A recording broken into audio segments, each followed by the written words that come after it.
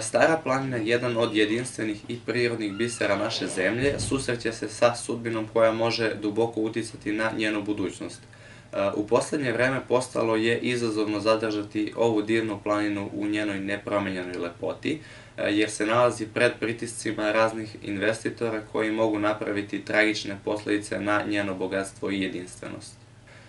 Posle velike i uspešne borbe za obustavu gradnje e, derivacionih mini hidroelektrana na Staroj planini, e, u narednom periodu planini preti nova opasnost od investitora, e, koja se ovoga puta ogleda u potencijalnoj eksploataciji rudnog bogatstva Stare planine, koja preti da u potpunosti devastira njeno celokupno područje. Svima je poznato da će Park prirode Stara planina konačno postati nacionalni park, i da se Stara planina trenutno nalazi u jednom prelaznom periodu od parka prirode ka nacionalnom parku. E, iako je vrednost Stare planine poznata mnogima, pogotovo njenim stanovnicima i planinarima, i iako je delom do sada bila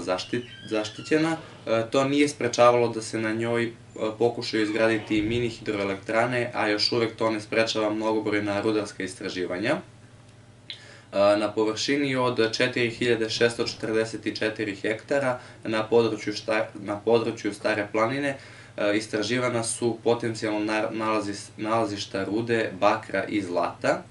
a njen najveći deo se nalazi upravo u parku prirode, budućem nacionalnom parku. Podsećam da se jedini rudnik uranijuma u Srbiji nalazi na teritoriji Parka prirode Stara planina pored sela Gabrovnica, koji zvanično još uvek nije zatvoren, već je samo privremeno prekinuta eksploatacija rude. Takođe, želimo da upoznamo građane da Stara planina ima tri stepena zaštite, gde je u režimu zaštite trećeg stepena, koji čini skoro dve trećine planine. Tu je dozvoljena eksploatacija i geološko istraživanje mineralnih sirovina pod uslovom da su na udaljenosti većoj od 2 km od režima zaštite prvog i drugog stepena. Videvši sve ove navedene probleme, Udruženje Vizija je zajedno sa organizacijom WWF Adria, a uz finansijsku podršku Evropske unije krenulo u realizaciju projekta Zeleni korak, čiji je cilj da zajedno u partnerstvu rade na očuvanju stare planine.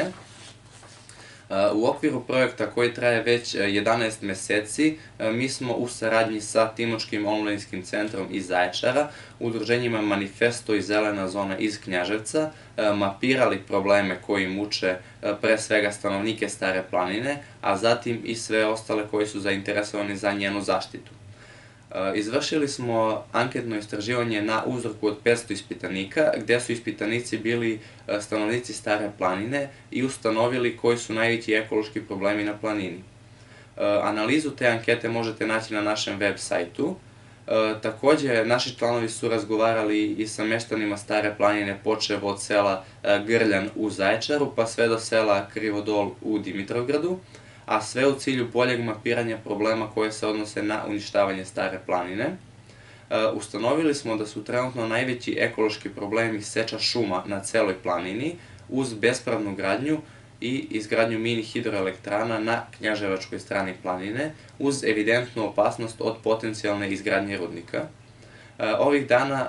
organizovali smo okrugle stolove na temu zaštite stare planine sa osvrtom na potencijalno rudarenje i to u Knjaževcu i Zaječaru, a tokom februara meseca bit će održani okrugli stolovi i u Pirotu i u Dimitrovgradu,